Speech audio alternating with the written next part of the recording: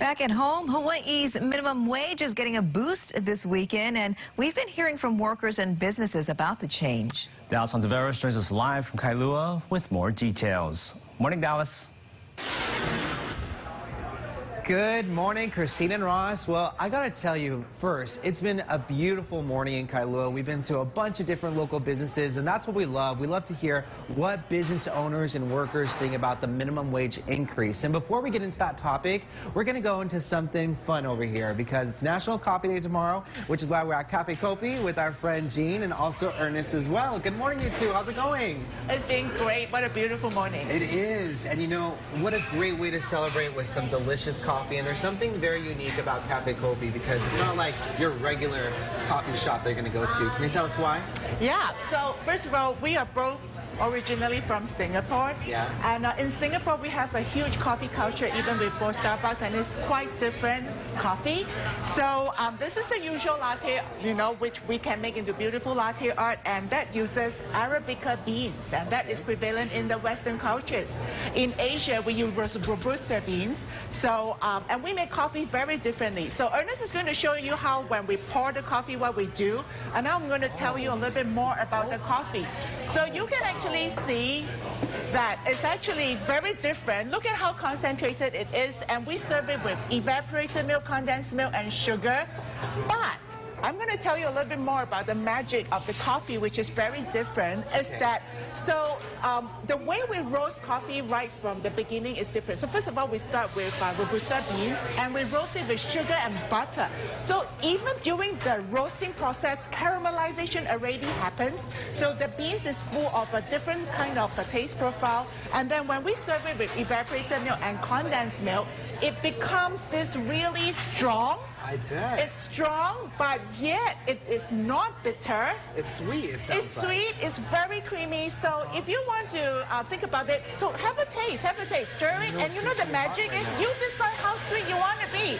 You are on a diet. You want a little bit sweet. You could do that. Taste it. It's very different.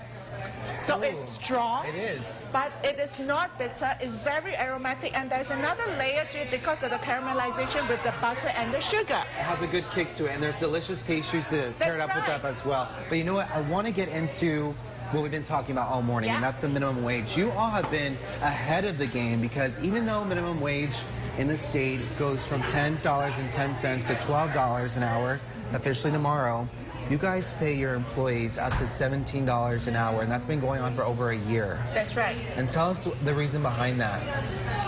So, first of all, uh, we both believe in uh, making a good living. Yeah. Uh, people need to live. And I just moved from Hawaii about two years uh, to, to Hawaii for two years, and I can't believe how expensive everything is. I don't know how people live. Seriously? So one of the things that when we first started this business is that we want to be able to give back the community in terms of our jobs and so on. And we understand that people need to leave. So one of the important things for us is we want people to be able to live with a wage that is reasonable.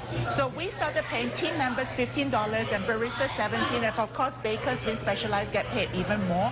And uh, what we want to do is to ensure that with this amount of money and with the shifts that we are giving them, they are able to pay rent live a good life.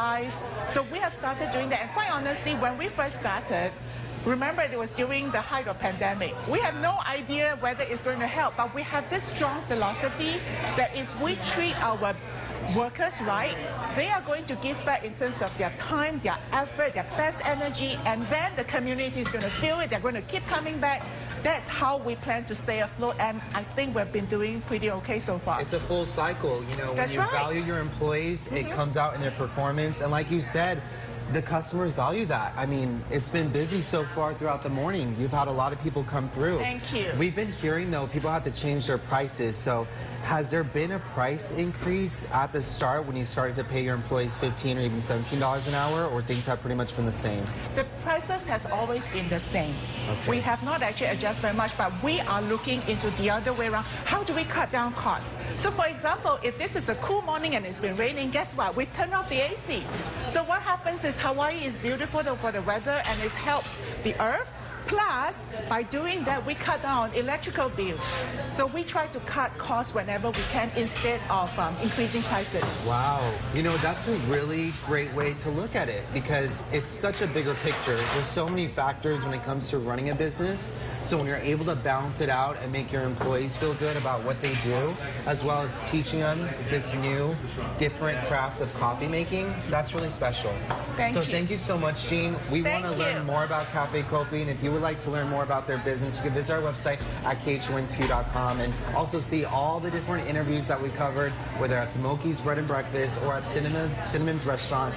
Um, so much great information was shared this morning. Thank you all so so much. much. Thank you, Thank you. And the Thank coffee's you, delicious, by the way. Thank you. Mm, reporting from Kailua, Dallis Ontiveros KHON2 News, working for Hawaii.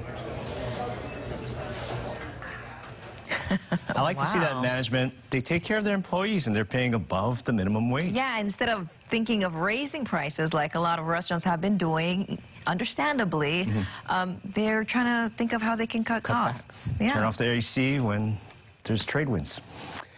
All right, coming up next in our Food to Go segment, we are checking out a puka in the food scene on Hawaii Island. We'll have an interview with the Puka Puka.